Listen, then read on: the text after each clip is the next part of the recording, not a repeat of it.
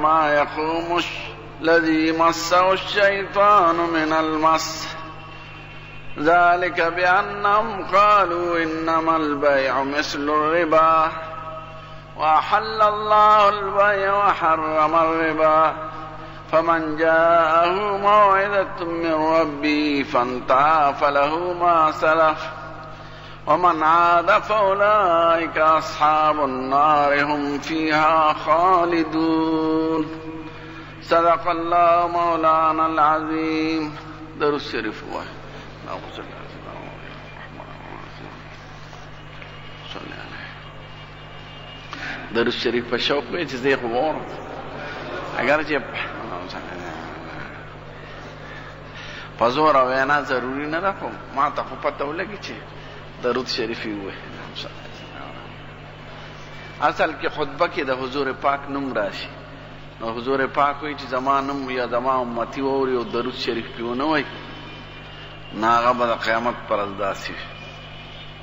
نو چې د حضور پاک نوم راشي نو درود شریف وینا پکار ده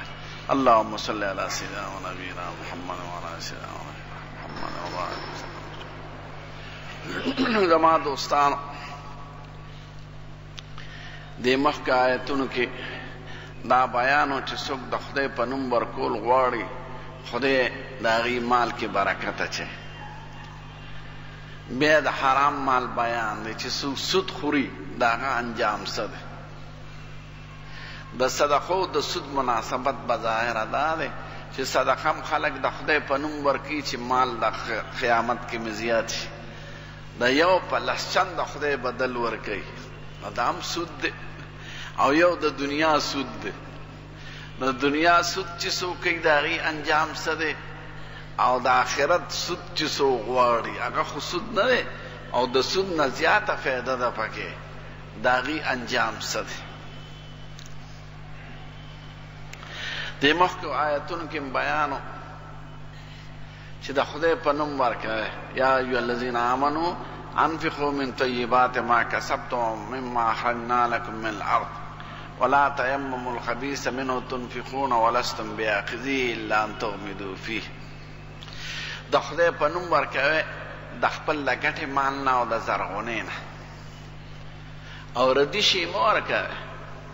ردی شی په خپله نه قبلوی د بل نه نو د خدای په نوم ردی شی ولی ورکوی دی سلسله کی مې درته دا ویلی وو چی بعضی ردی شی وی د سړی نه خو د بعضی غریبانانو پی کار کیږی لکه تا کراین ګلی پاتی شوی دی نو په ځای د دی چی تویی او د بل غریب کار پی کیږی نو ورکه هغوی له یا ستا مستعملې جامې دي زړې نو په ځای د دې چې ډیران ته غورځې نو د یو مسلمان غریب په هغې هم کار کېږي نو هغه له یې ورکړه خو که په دې نیت ورکې چې دا خراب شی دی ځکه یې ورکوم نو خدای پاک په هغې خفه کېږي نو خدای دغه بیان کوي چې په خپله خراب شی نه قبلوي د بل نه او د خدای په نوم خراب برکوی نو دا کار مه کوی دا د هغه سړی د پاره تعلیم دی چی خیم په وس کی کیږی او معمولیم او دی دا معمولی په دی غرض برکی چی هسی هم غورځوم نو چاله به یی ورکم نه دوه سړی د دی نه مستثنا دی یو هغه چی سړی سره وی د غریبی شی دی پیاز خوری د پیاز د خدای په نوم ورکی. دی د جوار ډوډۍ خوري د جوار ډوډۍ د خدای په نوم ورکړي نو دته هم دومره وس دی دا خدای نه یادوي دویم هغه کس چې ردي شي ورسره یي خو دی وایي د ردي خلک غریبانان داسې ډېر شته چې د دې ردي نه پیدا غشتي شي شلېدلې جامې دي ځان له به وګنډي ټټران کې ډېره موده کار کوي نو دغه خدای نه یادوي خدای هغه یادوي چې هغه د غورځېدو د پریوتو شي وي او ته په دې غرض د خدای په نوم ورکړې چې هسې هم غورځوم نو چاله به یې ورکړم داسې کار به نه کوي بیا خدای وایي په ورکړه کې شیطان سړی یاروي چې دا خو مال ورکول او دا به څوک پوره کوي راشه په دې ځای کې ولګوه او خدای سړي سره وعدې کوي د ښکلې خبرو چې زما په نوم ورکه شیطان یعدکم الفقر ویامرکم بالفحشاء والله یعدکم مغفرة منه وفضله والله واسع علیم چې کله سړي د خدای په نوم ورکي او زړه کې دا وسوسه رااله چې دا خو به مې مال کم شي نو ګورې دا شیطاني وسوسه ده او چې کله د سړي په زړه کې دا راځي چې د خدای په نوم زه خو خدای له ورکوم او د خدای دا وعده ده چې یو په لس خو به بدل درکوم او د هغې نه زیات نو دا د خدای د طرفه ستا زړه کې خبره اچولی شوې ده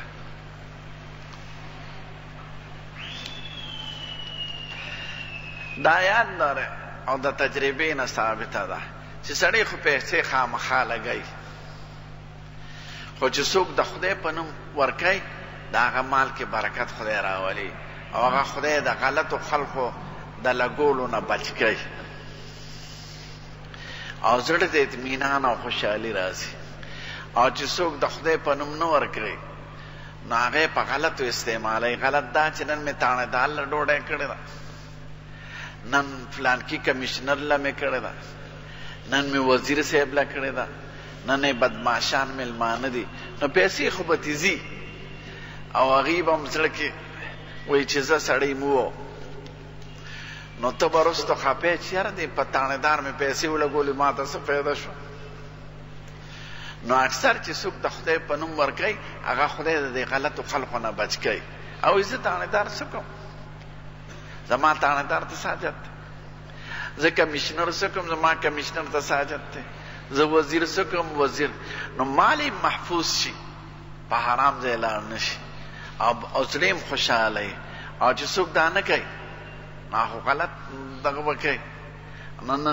نن مې تاڼه دار ته حاجت دی نن مې کمشنر ته حاجت دی دعوتونه به کوي خو د خدای په نوم نه هلي نو مالم تې لاړ شي زړه هم خفه او برکت هم پکې نه نو چې څوک د خدای په نوم ورکای هغه ته به د زړه اطمینان ناسي د خدای په نوم ورکولو داسې مثال دی لکه سړي خېټه کې ګړبړي خرابه ماته پکې جمع شوي او دستو کې داسې دارو خوري چې دستي وشي نو به ظاهره خو کمزوري شي، بظاهره خو دستونه پرې ولګېدل، خو وروسته یې صحت ښه شي، تک سور سپین نه وځي او غوټې موټې ترې پروځي. نو دغه شان د خدای په نوم خو به ظاهره د ده کمی راغی، خو فایده به یې ډېرې ګورې. او چې څوک نه ورکوي د خدای په نوم، د هغه مثال د پړسوب دی، د سړي بدن پړسېدلی. نو خلک وایي یاره ډېر سرب شو یې لاس پړسېدلی خو دا به یې ورځ ګړز کوي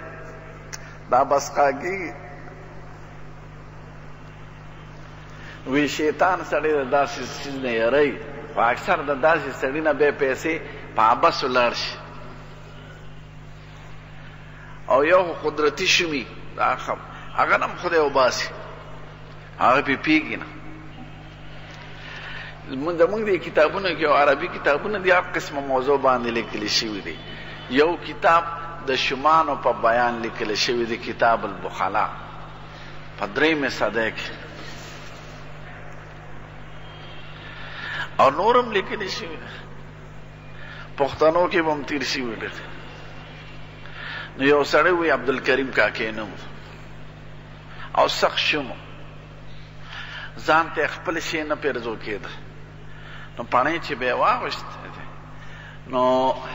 یو پڼه به یې په خپو کړه دا بله به یې سنبال کړه خو دې بلې خپې له به یې ګوته وتړله خلکو ته به یې دا ښودله چې زما خپه خوږده نو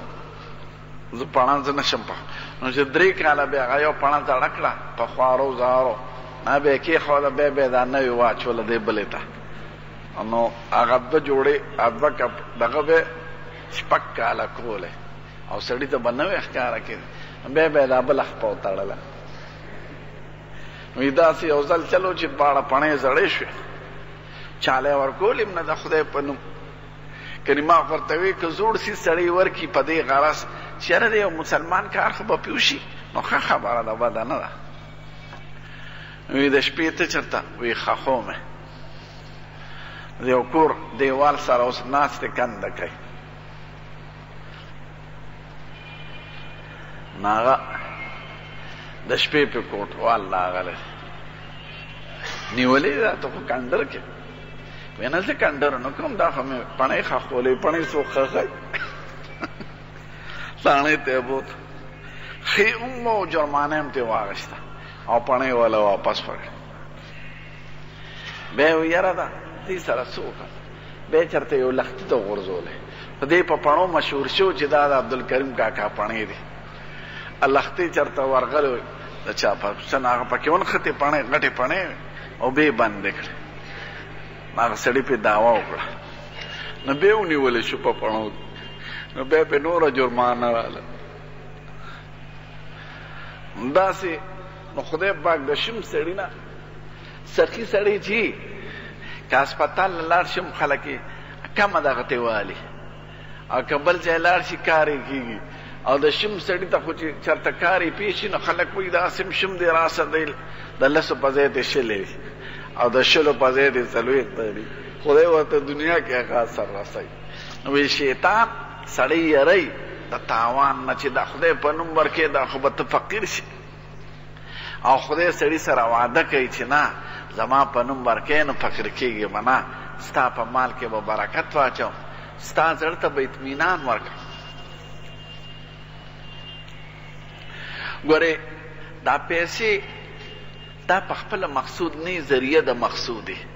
مقصود خو ډوډۍ خوراک دی، ابادي ده، واده کول دي او ښه شی اغوستل دي. اکله خدای پاک په لږو پیسو سړي له ورکوي ښه او کله به یو سړی وي ډېرې پیسې به لګي دې ته به اطمینان نه شي به دغه دي او ځکه بنګلې مو ګټلې او باغونه یې جوړ کړه خو د زړه راحت خو په پیسو نه حاصلېږي خوب به نه ورځي ګولۍ به خوري پریشانه به د پیسو فکر به چې غلا نه شي دا کورا نه شي نو هغه د زړه راحت خو په پیسو که تا سره لکونه روپۍ دي خو خوب نه شي اخیستی نو ته خدای یادوه ستا زړه ته به خوشحالي راځي اطمینان به راځي خوب به راځي پیسې یا لږې یا زیاتې خو چې کوم مقصود دی د پیسو نه هغه شی به تا ته حاصل وي او یا شیطان یا د کوم الفقر والفحشا ویامرکم بالفحشا شیطان تاسو ته د خدای په نوم ورکولو کې د فقیرۍ نه میری او نور خبرې درته ښیي چې زه فلانکي له به ډوډۍ وکړم، فلانکي له به فدا وکړم، نو هغه پیسې درنه لاړې شي بغیر د خدای د نوم نه. د دې وجې نه زموږ ښکلی پیغمبر وایي، وي ستا ډوډۍ دې پرهېزګار سړی خوري، یعنې دوستانه او تعلق د نېکو خلقو سره ساته. او تجربه هم دا ده چې نیک سړی راولې چې څه دې ورته کېښودل هغه به شکریه ادا کړي او دعا به درته وکړي او چې بدمعاشانو سره دې تعلق وي نو که خراب شي دې ورله پوه کړو نو اول به دې ښځه یادوي چې دا ښځه یې څه خره ښځه ده دی له خو ډوډۍ پخول او چای پخول نه ورځي او که ښه شی دی ورله پوخ که ور دې کړه نو بیا چې ځان له شي نو بیا به وایي زه سړی مو په سړي هم دا راوغوسته. ابا دا ونه وایي چې خدای پاک ته یې ښو کړي، خدای پاک ته یې خوشحاله کړي، موږ له یې ډېر محنت وکړ. نو وایي ستا لا یاکل طعامک الا تقي، ډوډۍ خپله په پرهېزګار نېک سړي باندې خوره، په بدمعاش، په بدعمله یې مه خوره. ا نېک کې خو دې د خدای نیت هم دی، بل دعا به درته وکړي. او که خراب شي نو سپکه خو به دې نه کوي، نه به دې ښځه په سپکو یادوي او چې بدماش سړي سره دا تعلق وي نو اول خو به دې سپکه هم کوي، بل ښځه به دې په څه خبرو یادوي چې د ده ښځه خو په هېڅ کې نه ده. بیا خدای فرمایي، د سودخورو په باره چې د دنیا سود فکر کوي او د آخرت د سود فکر نه کوي، د دنیا د ګټې فکر کوي او د آخرت فکر نه کوي. خدای وایي، الذین یکولون الربا لا یقومون الا کما یقوم الذی یتخبطه الشیطان من المس، چې دنیا کې چا سود خوړلی نو د قبر نه چې پاڅي نو داسې به پاڅي لکه پېریانی سړی، پېریان چې په سړي ناست وي نو هغه ودرېدی نه شي، راغورځېږي او ګډې وډې وایي او لتې وایي. نو دې نه معلومېږي چې پېریان په سړي کیني او پېریان سړی لکه نورې دماغي امراض چې دي نو دا هم یو مرض دی چې سړی یې راغورځوي ذلک بانهم قالوا انما البيع مثل الربا په دې شکل بیا ولې راپاڅي د قیامت پرست چې دی به ودرېدي نشي راغورځېږي به لکه د پېریاني سړي دا ځکه چې ده په دنیا کې وې چې سود او بیه کې څه فرق دی سود هم حلال دی لکه ده داسې بیا وی بیا هم حلاله ده لکه د سود په شان علاوړې خبره به یې کوله وی سود خو حلال حلال دی بیا هم حلال ده ځکه د بای مقصد هم دا وي چې زه تجارت کوم چې څه پیسې وګټم او سود هم د دې لپاره چې چاله پیسې ورکې په شلو باندې د میاشتې یا دا سل واله ماله به دوه سوه راکې خو دې کې هم ګټه ده نو چې څنګه بیعه روا ده نو سود هم روا ده نو خدای وایي دا به دنیا کې وي نو د قیامت پر چې د قبر نه پاسوم داسې به پاسیږي لکه پیریانې سړی چې هغه باندې پیریان ناست او درېدی نشي خدای وایي ما بیه حلاله کړې ده او سود مې حرام کړی ده نو که د دې بیان نه پس څوک منع شو نو چې څۀ کړي هغه يې کړي دي ځکه جاهليت زمانه کې سودونه او که څوک منع نه شو نو عذاب هغه د پاره د اور عذاب دی او د اور کې به همېشه ځکه چې سړی حرام قطعي ته حلال وای نو دی مرتد شي او مرتد سزا دا ده چې دی به قبر کې همېشه د پاره پروت وي او که څوک حرام حرام ګڼي او بیا خوري نو دوزخ کې خو به خو بیا بیا خیر خدای پاک وباسي ان شاء الله سود څه ته وایي په شریعت کې او سود ولې حرام دی دې کې څه نقصانات او موجوده نظام د بینکونو او د عام خلکو په بینکونو روان دی دا سودی نظام دی د دې نه مخ د دې متبادل څه صورت دی نو دا لویه موضوع ده ان شاء الله دا به درته آینده جمعه کې بیان کړم که خدای ژوندي وساتلو.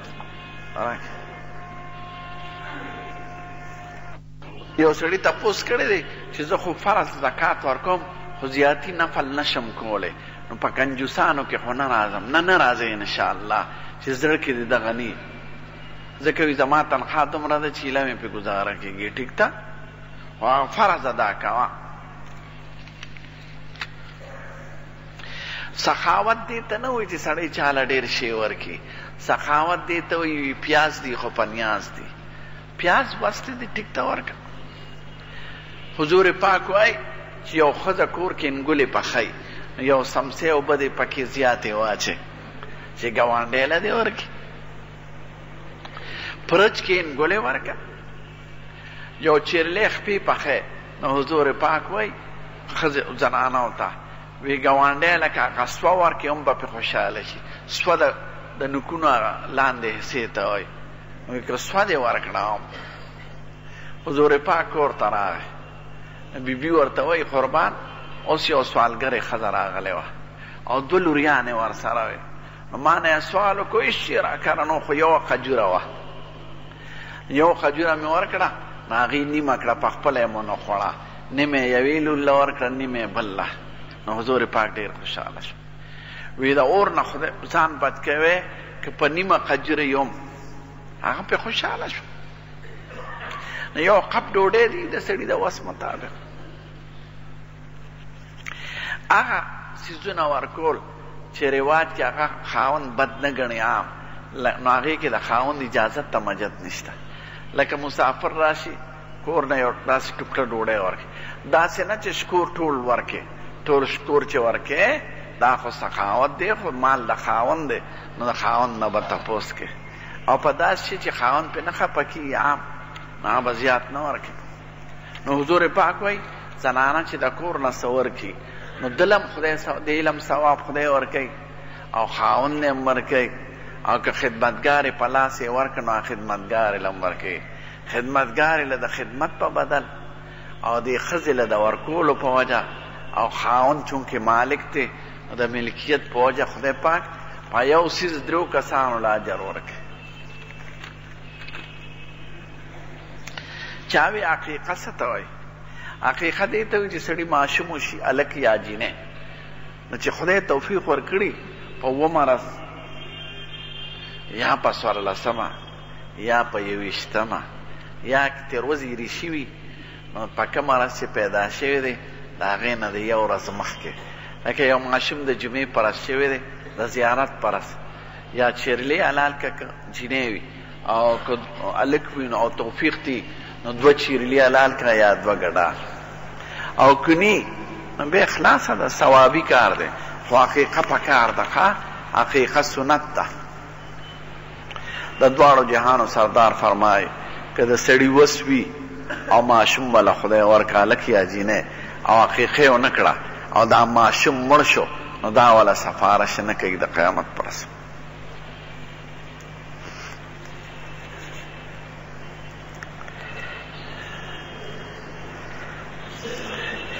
یو وزې کې څلور کسان یو د ګیري خاوند دي او درې ګیره ني خو د ګیري والا جمع نشي ورکولی دا د ګیري چې خرۍ خیر دی دی دې مخکې کي خو جمع به نه پرېږدي عقیقه چی ده هغه په هر چا کیږي ښه مالدار له هم ورکولی شي غریب له هم ورکولی شي په خپله هم خوړی شي ستا ښځه هم خوړی شي ستا بال بچ هم خوړی شي د واجب حکم یې نه دی ثوابي کار دی بلکې چې کور ډوډۍ خورې درته ما څو ځله ووې دعا په زړه کې وکړې خدایه د دې ثواب مې مور ته ورسوې پلار ته مې ورسوې نو چې ته په خپله خورې همدا صدقه ده حضور پاک وایي وابدا بمن تعول چې ستا په عيالدارۍ کې څوک يي اول د هغوي نه شروع کوه نو چې بال پچ ته څه وړی کور ته نيت پکې دا کوی چې خدايه د دې ثواب مې مور پلار ته ورسوی نيت کوی خدای پاک ثواب رسوی خو چې نيت ني نو بيا نه رسي نو که تاسو نه يري خپل ټبر ته ووایه چې کله بچو ته ډوډۍ ږدې نو دعا وکړه په زړه کې چې خدايه د دې ثواب زما مور ته زما پلار ته خپل مور پلار هم ياد کړه زما هم ياد کړه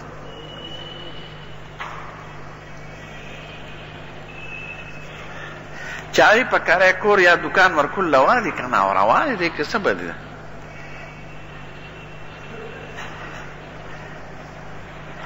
چاوی د چا په زرګونو جیره بزمګي او فضول پرته نو د دې حکم څه دی د شریعت دا حکم دی د زموږ خپل پیغمبر ویلی دی چې چا سره زیاتي ځمکه وي نو یا دې په خپله کري یا دې یو مسلمان ته ورکړي چې هغه دې پې کري د همدردۍ د باب نه اخیستل ترې په زور ضروري نه دي هغه دا حکم دی چې چا سره زیاتي ځمکه وي د ضرورت نه زیاته نو کری او که نه شي کرلی په بل یې کره زه خو وایم چې چا سره دا ډېرې ځمکې بې اندازې تحقیق دې وکړي چې دا ځمکې د کوم ځای نه راغلې دي که انګریزانو ورکړي په غدارۍ کې یا د بل چا ځمکې په ټګۍ نیولي پخوا داسې خلک تېر شوي دي اوس لږ هوښیارتیا راغله چې پټواري سره به اشنۍ وه نو یو سړي نه به یې یو جریب ځمکه اخیسته نو دلته به ایکس سره صفر ولیکه لس به یې ترې جوړ کړل یا به یې سو ترې جوړ کړل نو ځان پسې به انتقال وکړ، ځکه پټواریان به د هغوی په حجرو کې ناست او خوړل څښل به یې د هغوی کول، نو تحقیق دې وشي او که د چا خپل حلال مال یې ګټلي یا یو ښځه د خاوند والا مهر کې ورکړې ده، هغه خو ترې څوک نه شي اخیستی.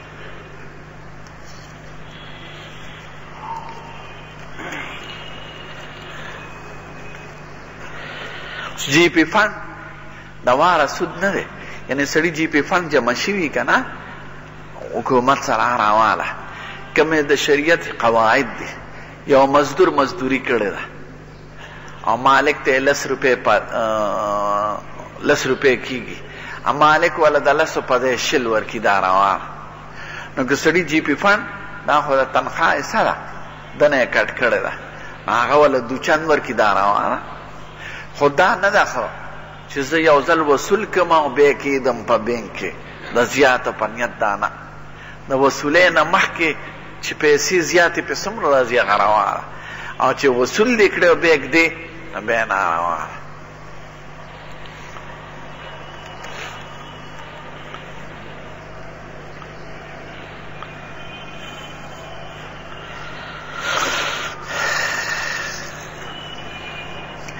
چاوي اوس زه چاله قرض ورکم نو پنځه کاله پس چې ما دا قرض راکوي نو هغه قیمت کم شوي ځکه چې دې وخت کې د یو سیس قیمت یو دی او پنځه کاله پس بل دی یعنی د سود دپاره یو حین نه شریعت دا وای چی روپی په روپی که لس کاله که شل کاله زیاتی کمی به نه کړي یو سیس په خرڅ کا دا در باندې خرڅ ته خپل شي ناغه ته زیات پیسې اخیستې شي خو ور سره ما قد اوس نه کې مثلا ما سره سیکل له دې وخت کې د هغې قیمت دوه سوه روپۍ دی یا دوه زره، زه یې په تا خرڅوم په پنځه زره، خو پنځه کاله پس په پیسې راکړې ټیک ده؟ شی چې پکې راشي نو چونکې د څیز قیمت د شریعت په نظر کې معلوم نه دی، زیاتېږي کمېږي او پیسه په پیسه ده، نو په پیسو زیاتې کمې اخیستل بند دي، چا له دوه سوه روپۍ ورکړې ورته وایې پنځه کاله پس په لس سوه راکړه نو دا ښه نه ده ټیک ده په قیمتونو کې فرق راځي، او که شي دې پرې خرڅ کړه نو روا ده، ځکه د شي قیمت د شریعت په نظر کې نه دی مقرر او پیسې پیسې مقرر دي، شل روپۍ شل روپۍ وي، څلوېښت روپۍ څلوېښت روپۍ وي، نو د روپو په سر روپۍ اخیستل بند دي او د څیز په سر اخیستل روا دي. د سټریټ لایف والا کار څنګه دی؟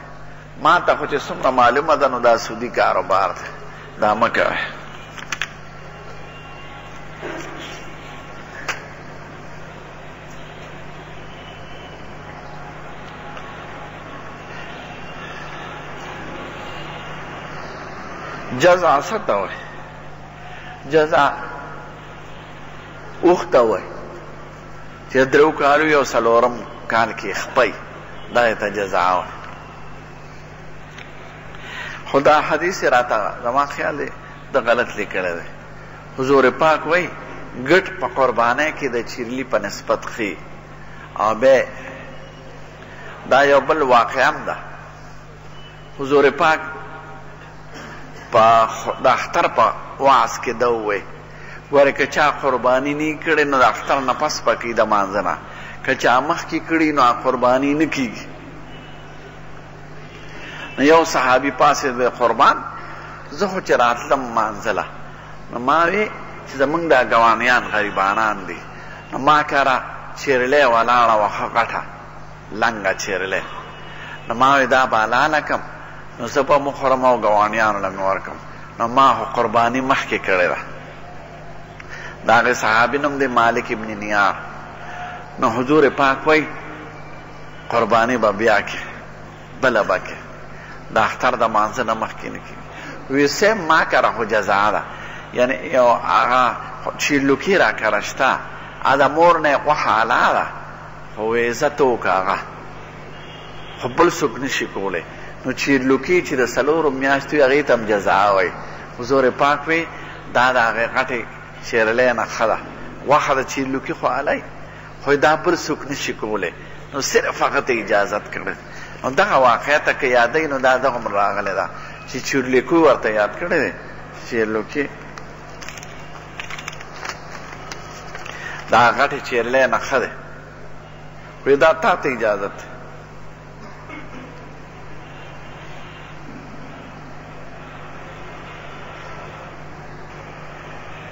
که چا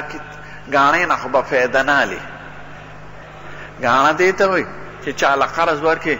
ټوپک ته کېږدي او بیا ټوپک ښکار کې استعماله یا یو ښځه بلې ښځې له پیسې ورکړي په قرض او ګاڼه کې ترې کالي والي نو دا کالي دا ښځه نه شي استعمالولی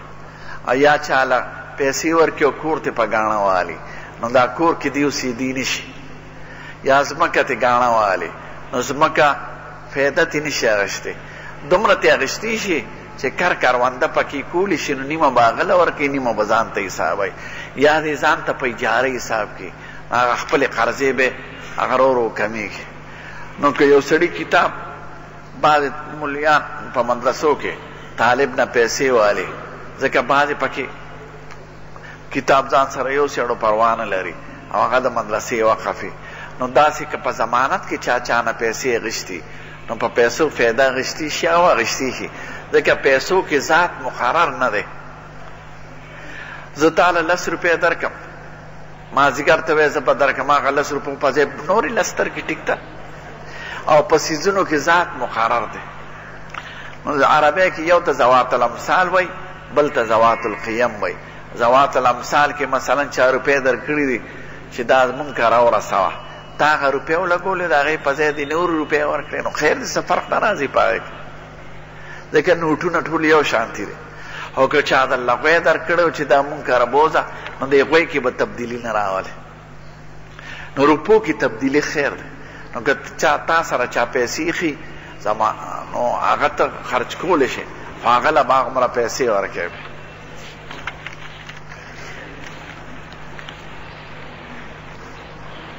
په سرتور سرمز کیږي خو د بدمعاشۍ په شکل یا انګریزي سرونه چې اله وړی سر لار سې په کې اوښکي دې سره.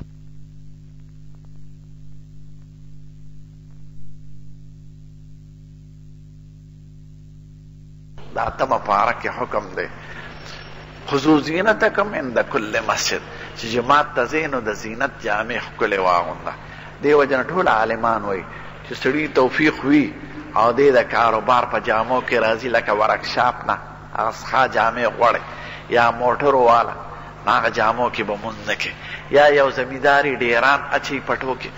نو هغه د ډيران جامو کې مه راځه يا بل څه مزدوري په کارخانه کې د خلو سخا جامې دي نو هغه جامې بدلې که ټيک ټک دې وس ني نو بیا صحیح ده خو چې دې وس وي نو په خسته جامو کې خدای پاک ته ودرېږه په سخا جامو کې نه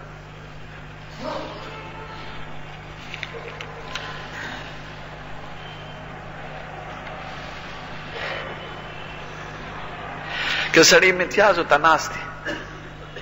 کله نری ساز کی واپس ده ته راځی ده ګټی نه یا ده زمکی نه زمکه سخته وی یا ګټه باندی میتیا ځی یا په فرش نو هغی نه ساز کی راځی خو خو دا چی هغی نه هم ځان بچ کاوه خو که ده ستنو ده سرونو مری معمولی نو هغه خدای سړی ته معاف کړی ده دی وجه نه شریعت دا وایی چی داسی ځای کی کینه که کچه زمکی چی پسته وی چی واپس میتیا ځی نه راځی حضور پاک چی به اودس ماتی له ته بار ته نو ځان سره به یې شل وړه، شل، دا لوې لرګي چي د کونټۍ په شکل او سر کي یې سوم وي نو دا به یې وړه. نو د دې دا فایده وي که پرده راولې نو هم ځان ته ودروه څادر پرې کښېنه، که لوټي ته حاجت وي نو لوټه به پرې ماته کړې، که په لاره مال لړم څه بل څه بلا وي نو هغه پرې وژل شي. نو حضور پاک چي به بار ته ته نو ځان سره به یې شل اغوسته،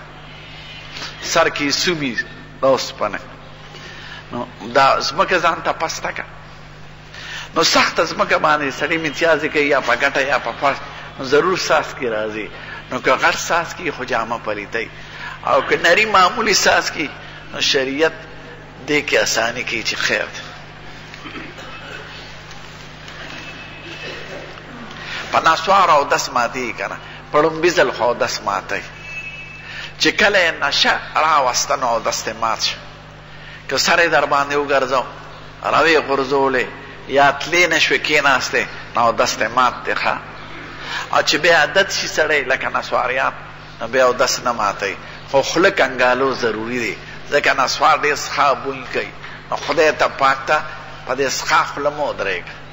خلو وینځه کلکه حضور پاک وای هغه زمانه کې خو نسوار سګرټ نه وو خو پیازه اوږه وه وای که چا پیازه اوږه خوړلي نو چې جماعت ته رانشي کنه پیازه اوږه خو بوی کوي خو نسوار او سګرټو نه خو بوی کم دی او چې جماعت ته رانشي د دې وجه نه عالمان وای چې نسوار او اوږه خورې نو دا د مانځه نه پس که ډوډۍ خورې نو خوره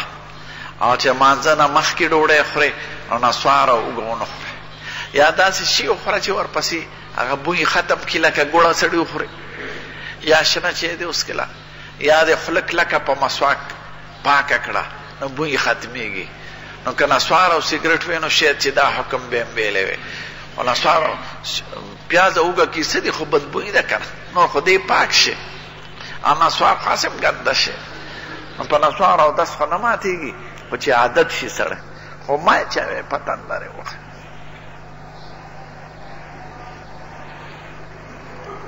چا چې یو سلسل بول وي د چا مریض وي چې متیازې ته دې مارځي نو چې یو وخت پې د مونځ پوره نه تېرېږي بغیر د متیازو نو ده ته معذور وایي نو دی به روغو جوړو خلکو ته امامتي نه ورکوي هر مانځه له به اودس کوي په خپله سړي نه باد دي لکه بواسيري خوني وي یا بادي وي یا تي متیازې بېږي خو یو روغ یعنی د مونځ وخت بغیر د متیازو نه نه ځي خامخا تي ضرور ساس کې ځي نو دی به روغو جوړو ته امامتي نه ورکړي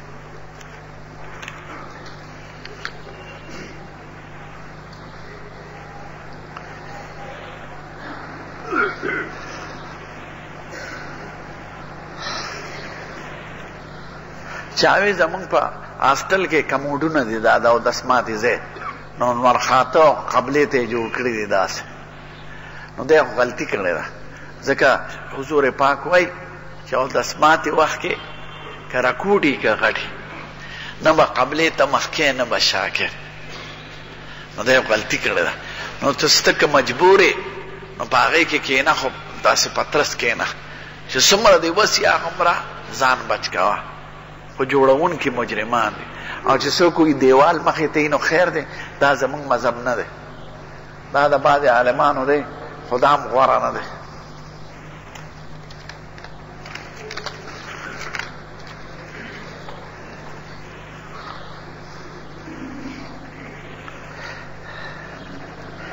چاوی دا رشتیا حضرت علی سے بوئی چې بعض خلک به ډېر د محبت د وجنه او بعض خلک به د بغض د وجنه خرابېږي دا هغه په خپله نه دی ویلي، دا حضور پاک نه نقل دی، حدیث کمزوری دی، خو هغه ته یې ویلي وو چې ستا د بعضې خلک به ستا په محبت د وجې نه خرابېږي او بعضې خلک به ستا د دشمنۍ د وجې نه، دواړه شته اوس. حضرت علي زموږ د سر ګل دی او د حضور پاک زوم دی او د حسنینو پلار دی او څلورم خلیفه دی او جنت وعدې راغلي دي د هغه. خو دوه قسمه خلک دي یو ته خوارج وي د مسقط او عمان کې اوسیږي او الجزایر کې هغه حضرت علی صاحب ته ډېر سپک ګوري کنځلې کوي نو دغه بغض واله دی او دویم دي شیعګان په ایران کې نو دوی یا دا ماتمونه چې کوي نو دوی حضرت علی صاحب پیغمبره درجه ته ورسوي او د هغه نه امداد غواړي غایبانه یا عالي مدد نو دا ښه کار نه دی دا د محبت واله دي چې د پولې نه ور واوړېدل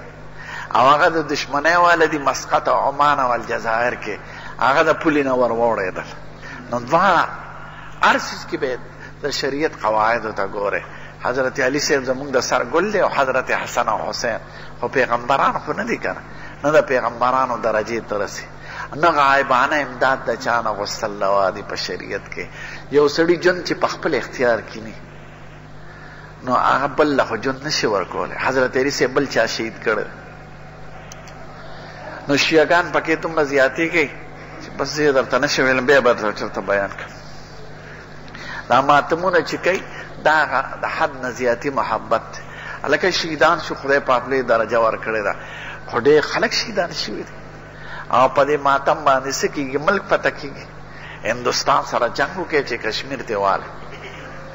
روسیانو سره جنګ وکړي چې چیچیان آزاد کړي؟ په جړا څه کېږي؟ خو خدای ول لوی عزت ورکړی شهیدان شو بهادر قومونه هغه په ټیک ته خپګان د سړي زړه ته راځي خو یو دوه درې ورځې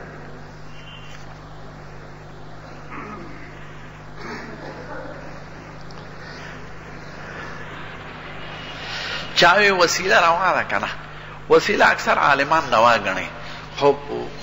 حکم یې نشته ته خدای ته سوال کوه برای راس خدای پاک وای و اذا سالک عبادی عني فإني قریب زما بندگان چې تانا زما متعلق تپوسو کی چې زمون خدای لره دي که نږدې دی که لري چې په چغه आवाज ورته کوو او که نږدې چي په پټه پټه وايو نو وايي ته زما له طرفه ورته ووايه چي خدای نږدې دی زه دعا د دعا کوونکي قبلوم نو ته خدای پاک ته سوال کړه خدا او خدای ته د خدای صفتونه او د خدای مهربانه او د خدای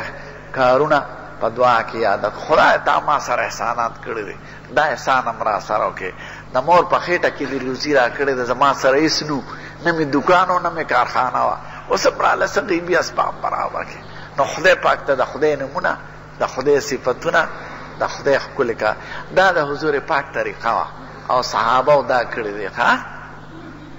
انسان ولې یاده خدای خو د دنیا د بادشاه په شان نه دی چې وله سړی بوځي خدای خو د چا پروا نه لري نو خدای نه برای راست سوال کوه روا ده چا باندې حکم مه لګوه که چه ووې خو سوال خدای پاک ته برای راست کړه خدای دقه شان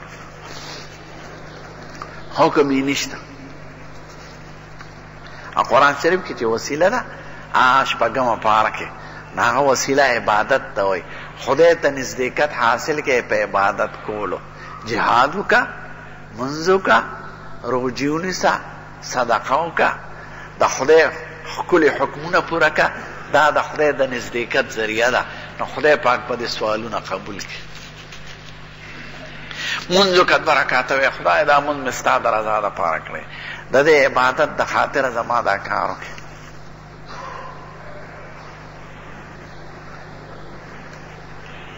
چاوي دا چې رښتیا ده چې کابل کې یو هندو موجود دی چې هغه وایي ما حضور پاک لیدلی دا خو ما نه دی اورېدلی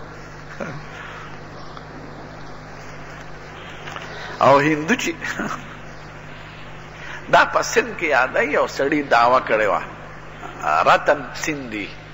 هغه دوه نیم سوه هجرې کې چې ما حضور پاک لیدلی دی او زه صحابي یم او دومره عمر، نو علما ورته وایي ځه دروغ وایې، ځکه د دواړو جهانو سردار په اخري عمر کې دا ویلي و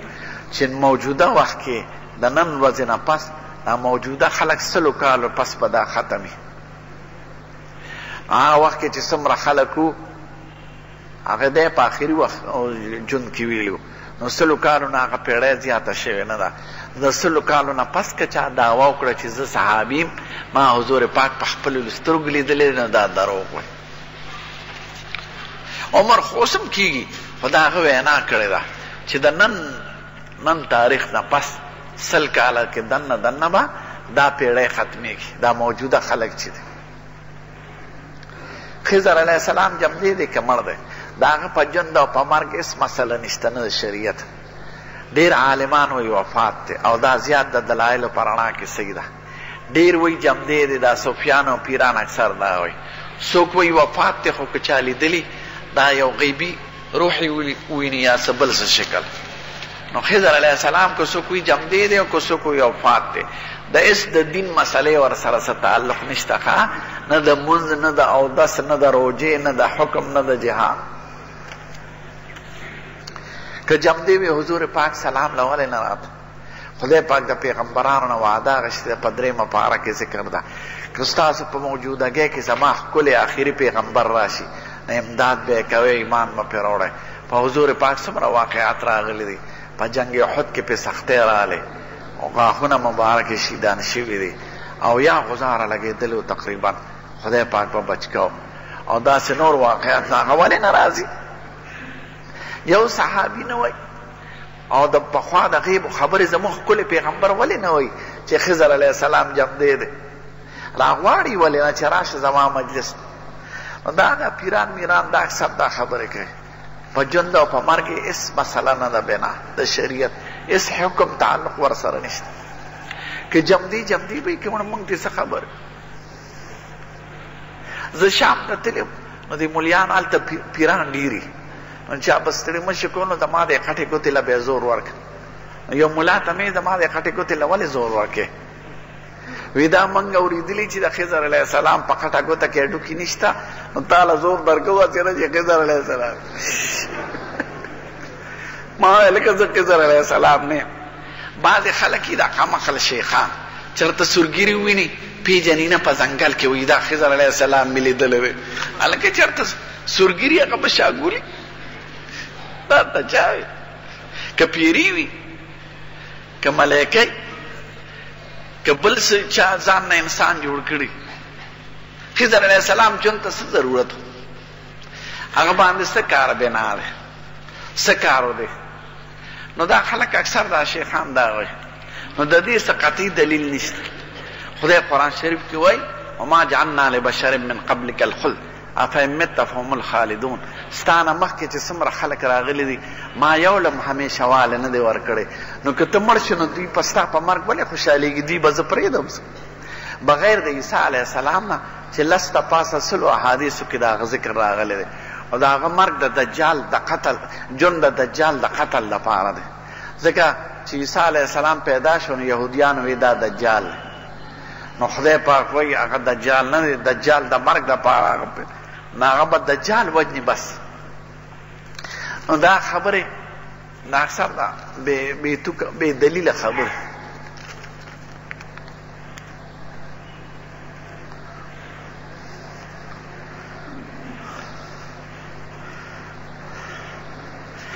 چاوي یو سړي په خپل د مور جنازه وکړه نو امام مرتوي ستا جنازه نه کیږي زه کزه د محلي امام امام غلطه ویلې ده ولي چي دی زيات حقدار دی چي زوی يې عالم وي، نيکي جنازې يې په مونځ پېږي، نو ښه دا ده چي خپل رشته دار وکړي. ټيک ده د محلې امام حق شته خو ولي خو زيات دی، زوی يې خو ولي دی. د نجد دپاره خيري کړې دي حضور پاک او ويلي وو حضور پاک يو ځل ناست وو صحابه راغله نو څه دعا یې کوله چاوې صاحب یمن یمن ته دعا وکړه یمن ته یې دعا وکړه شام ته دعا وکړه بیا چا ورته یې نجات ته هم دعا وکړه نو بیا یې غږ ونه کړ نو بیا ووې نو دریم ځلې ووې وی هغه ځای نه به زلزلې پیدا کېږي او فتنې په امت کې نو دوی یې ورته ونه کړه دا څوک دې مراد دي د دې علم رسول الله سره دی خو اکثر د فتنې او دا شرونه او فسادونه دا د نجد د علاقې د عراق نجد نورخاته طرف ته وایي نورخاته طرف د مدینې نه نجد عراق اکثر دا فتنې چې په مسلمانانو کې مختلفې ډلې جوړې شوې دي اکثر د دغه ځین نه راغلي بل شي دجال به دغه طرف نه را څرګندېږي دجال به خراسان کې پیدا کېږي د ایران یو صوبه ده بیا به ځي نجد ته نو عربو ته به د نجد د طرفه ورځي بیا به ځي مکې مکرمې ته بیا به مدینې ته ځي او مدینې او مکې ته به داخلېدی نه شي بار به حضور پاک وایي په مدینه به خدای ملایکې مقرر کړي نو دجال به باز پروزي نو دغه طرف نه به دجال هم راخیږي اوس یو سوال دی چې فتنې وي نو پکار دا چې دعا خوشي وي چې خدای دا حضور پاک دعا کړې چې خدای دا فتنې په خیر بدل کړي نو بیا یې دعا ونه کړه دا ولې راز پکې څه نو باقي علم خدای سره دی پوره خو زموږ عالمان وایي شاید راز پکې دی چې حضور پاک ته خدای ښودلي چې دا فیصله قطعي ده فتنې به راځي نو د آدم نه بار ګڼله چې زه سوال وسوکم ځکه بعضې فیصلې پنځه قسمه تقدیره دی یو داسې تقدیري چې هغه نه بدلیږي هغه کې پیغمبران هم سوال نه کوي چې خدای ما ته ویلي چې فیصله قطعي ده نو ځکه یې سوال ونه کړ چې خدای ورته ښودلي چې دا قطعي فیصله ده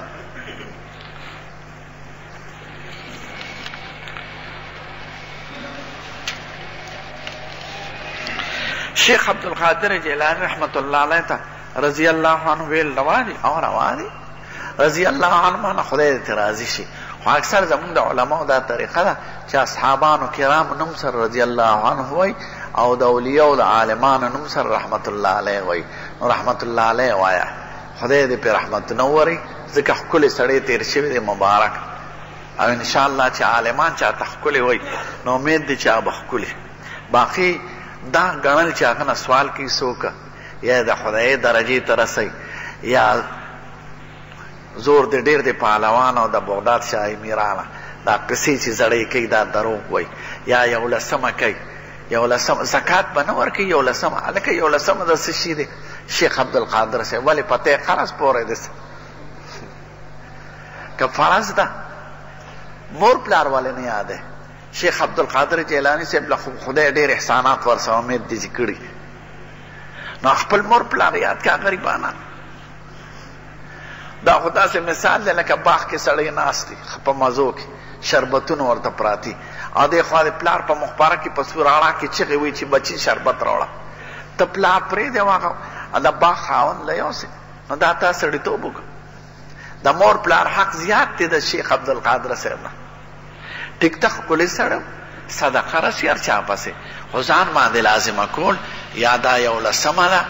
دې کې اکثر شرکي خبرې راځي دې ځکه وایي چې دا وکړم نو زما میخې به ډېرې شي نه داسې مه وایه زیاتول کمول هغه د خدای پاک په لاس کې نو شرکي عقیده آتی او د دولسو کالو بیړۍ راوښکله لکه څه ماڼۍ اوس ته چې بیړۍ راوښکله نو دا فرضي خبرې دی خلکو در ملنګانو جوړې کړې دي دروغجن دلته یو ګټه د سړی لنډي کوتل ته ځي غټه ګټه وی دا علي صاحب په یهودي ویشتو لکه دا ګټه دلته هغه څه کول دلته هغه جنګ له راغله او یو په کابل کې داسې دریاب دی چې په هغې یو خپه پرته ده د هډوکي نو هغه خپه کې هغه دغه ته وچ شوي دی نو هغې کې سورنګ دی نو په هغې خلک د یوې غاړې نه بلې غاړې ته ځي هلکه دروغجنو وی دا یو یهودي تیر شوی دی او علي صاحب والو او مزار شریف علي صاحب یا دروغجنو خو چې یا خو اړوشته نه څوک یا که څوک نیک سړی تیر شوی نو حضرت علي به یې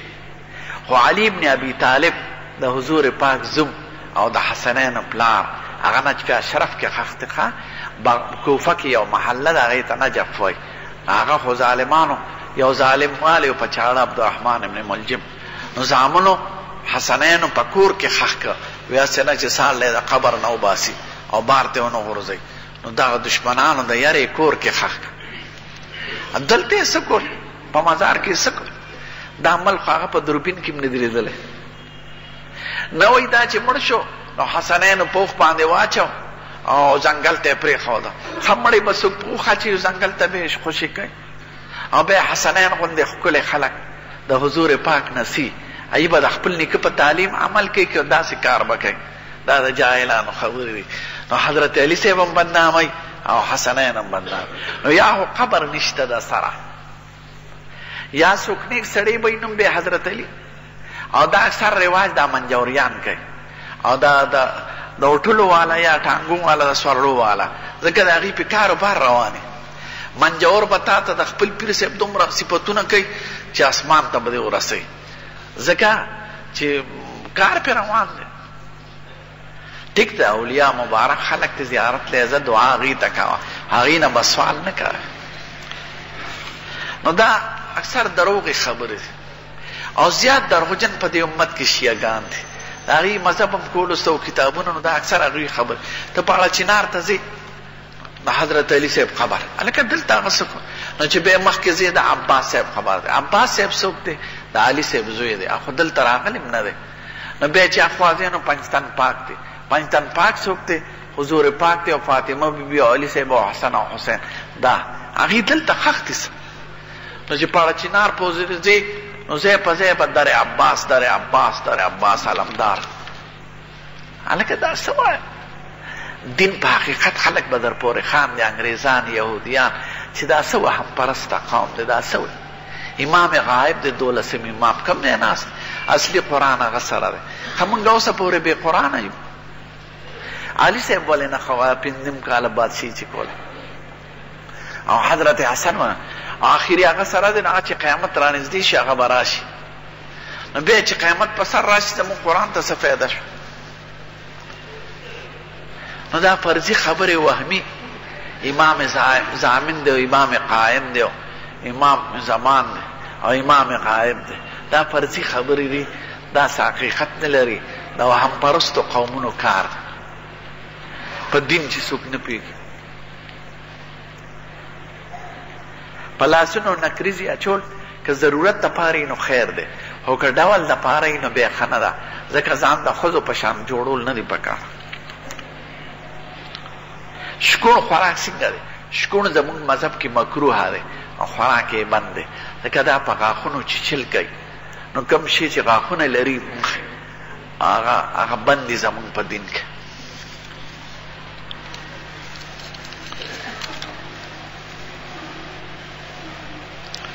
مونږ ته غوږونو ته رسول سنت دی کنه او غوږونو پورې اوچتول سنت دی خو درې ترې په زور پاک اوږو پورې مو چت کړی دی دې ځای پورې مو چت کړی دی سره پورې مو چت کړی دی نو که چا په عمل وکړو نه عمل کېږي خالص غوږونو له ګوتې ورول ضروري نه دی خو دا عام خلک ځکه کوي چې دوی ته پته ولګي چې غوږه پورې مې لاس اوچت شو کنې غوږ سره څه تعلق نشته که داسې دې کړم ټیک ده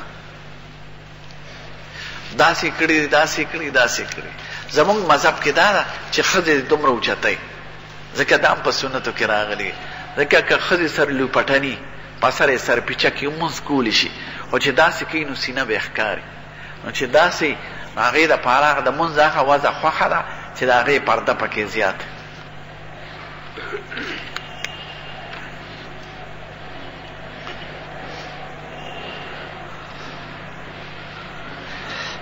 دا رښتیا چې نوح علیه السلام وفات کېده نو جبرئیل علیه السلام ورته وایي دا دیارلس سوه کاله یې څنګه تېر کړل وایي داسې مې تېر کړل لکه سړی په یو دروازه راننوځي او په بله دروازه وځي دا خو ما نه دی اورېدلی چېرته د واعظانو قصو کې به بل د هغه دیارلس سوه کاله عمر نو پنځوس تپه اتیا کاله او زر خو نیم نه نیم سوه کاله هغه وعظ نصیحت کړی د پیغمبر او دا مخکې لا پیغمبر نو څلوېښتو کالو کې پیغمبر کیږي او بیا چې طوفان راغی نو بیا څه موده به نو اتیا کاله د پاس زر کاله عمر تیره سو کال نشته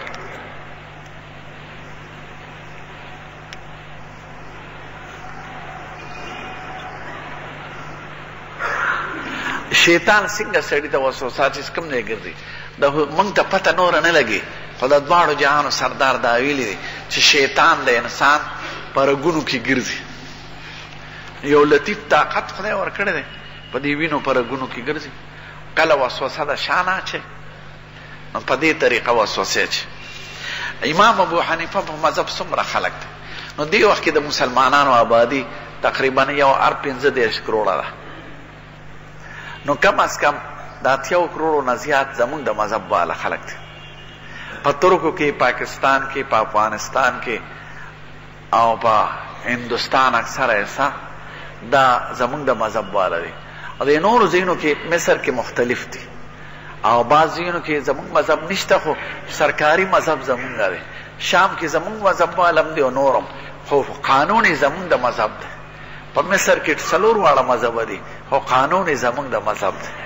په سوډان کې ټول مالکيان دي خو قانون يې زمونږ د مذهب دی ځکه دا سرکاري مذهب د ټول عالم اسلامي پاتې شوی دی نو چې کوم دی سعودي عربو کې حنبلیان دي هسې یو نیم کروړ دوه کروړه به او سرکاري مذهب یې حنبلي دی خو د هغوی فیصله دا ده چې زموږ مذهب کې یو مسله ني نو زموږ مذهب باندې عمل کوي امام ابو حنیفه رحمت الله علیه چاوي شیخ چینه سره نکاح کومه نه نکاح غي سره نه کیږي ځکه موجوده شیعه ګان بعضې خبرې کوي چې هغه د ضروریاتو د دین نه بار دي نو نکاح به ورسره نه تړی نه به یې العله خوری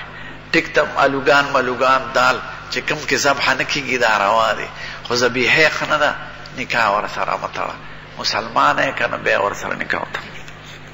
نه به خپله ورکوې نه به د هغې نه کوې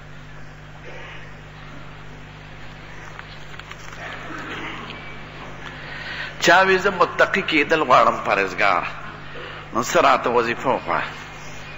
خدای پاک دې تعالی جنت الفردوس درکې بس د فرایض فرض او سنت چې څه دي او اخلاق د دې د اصلاح کوشش کوه بس دغه پرهیزګاري ده پرهیزګار دې ته نه وي چې په احوال اوسي بعض خلکو دا خیال دی چې دوه شپې تهجد وکړي که نه نو په درېیمه شپه د معراج شریف په انتظار وي چې زه به اوس معراج ته ځم نه مونځ اودس کوه دغه ښکلې پرهېزګاري ده او حلال او حرامو تمیز کوه پردي مال ته لاس نه کې حرامو نه کې دروغو نه وایې دقه لوی پرهېزګار دی